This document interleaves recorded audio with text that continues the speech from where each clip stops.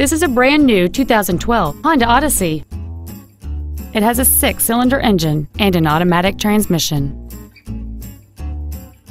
Its top features include a navigation system, a rear-view camera, a power moonroof, heated front seats, XM satellite radio, and high-intensity discharge headlights.